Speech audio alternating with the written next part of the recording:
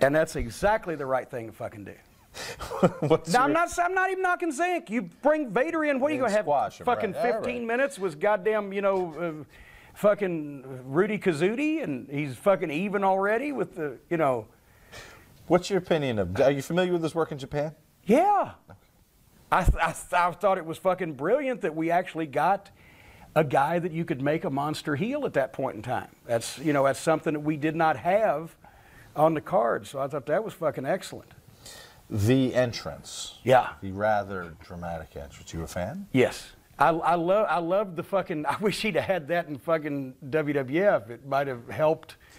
Vince never got Vader. Vince he didn't get it. Leon didn't do himself any favors. No, I was Leon complained a lot and whined and attacked the guy in Kuwait and got detained and all that shit. But the whole fucking that was it wasn't phony, funny, goofy bullshit. It was what the fuck? There's a 400 pound fucking guy with steam blowing out of these goddamn things, and I'm fucking scared of his ass.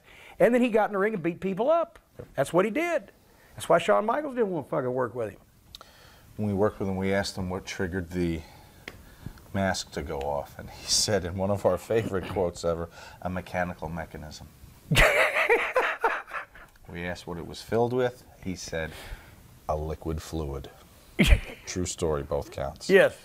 Same show. He used to actually have a guy early on, early on that, that traveled with him that was the fucking gimmick minder. That because that thing was huge and it's not like you could fold it up and put it in your fucking bag. yeah, how do you fly with that fucking thing? It had its own seat.